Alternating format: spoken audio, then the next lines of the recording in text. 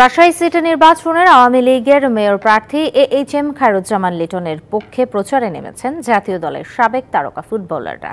শনিবার বিকেলে নগরীর বুধপাড়া বিনোদপুর এলাকায় তারা নৌকার প্রার্থীর পক্ষে প্রচারণা চালান।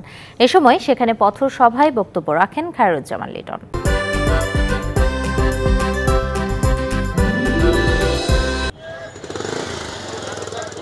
জাতীয় দলের সাবেক অধিনায়ক শেখ আসলাম, আব্দুল গাফফার, আশরাফ উদ্দিন আহমেদ চুন্নু, ইমতিয়াজ সুলতান জনি সহ সাবেক তারকা ফুটবলাররা এসেছিলেন খায়রুজ্জামান লিটনের ভোটের প্রচারে।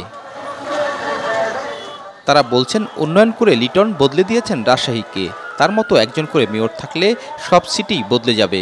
লিটন সাহেব রাজশাহী সিটি কর্পোরেশনের মেয়র হিসেবে যে কাজ করেছে সারা বাংলাদেশে এটা একটা রোল মডেল আমি মনে করি উনি। এই সুন্দর শহর গড়ার জন্যে ওনার যে অবদান ওনার বাবার মানে যোগ্য উত্তরসূরি হিসেবে উনি কাজ করেছেন।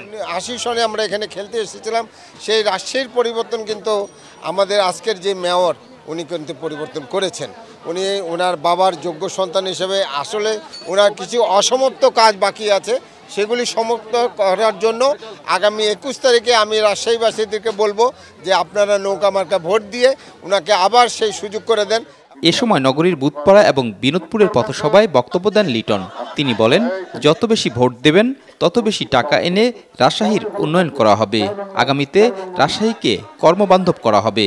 রাজশাহী বিশ্ববিদ্যালয় কৃষি অনুষদ সেই কৃষি অনুষদকে কৃষি বিশ্ববিদ্যালয়ে রূপান্তরিত করে আমরা আরেকটি ক্ষেত্র তৈরি করতে চাই। শিক্ষার এবং কাজে কৃষি এলাকা হয়ে গেছে, অনেক পণ্য তৈরি হয়। তিরিশ থেকে চল্লিশ পঞ্চাশ হাজার আমাদের ভাই বোনদের কর্মের ব্যবস্থা আগামী পাঁচ বছরে করতে চাই সৌরভ হাবিব, ডিবিসি নিউজ, রাজশাহী।